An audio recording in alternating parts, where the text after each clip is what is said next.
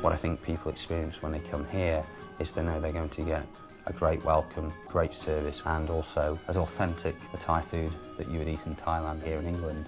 And uh, two simple ingredients, I suppose, traditional family recipes and local produce and uh, those combine to give us, you know, basically great tasting authentic food. Our Thai restaurant got excellent Thai food and we brought lots of ingredients from Thailand. So they are fresh Thai herbs that can give us that original Thai taste. If somebody wanted a certain thing done a certain way, a special requirement, maybe something a little bit spicy or not so spicy, then we're able to tailor that particular dish to an individual's needs because we're making everything fresh on the premises, fresh to order, fresh to cook.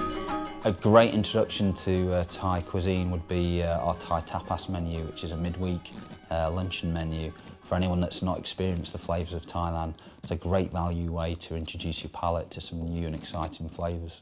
What you're getting in our vegetarian section of the menu, there may be 15 or 20 dishes there that still have great fresh flavours, textures, interesting ingredients. So vegetarians don't have to compromise here at Chilli Banana. We've been having lots of good feedback from customers and always got this impression from customer about oh very lovely food it's the best Thai food that I ever had that what they said and this is good service and we will come back again that what normally I get from our customers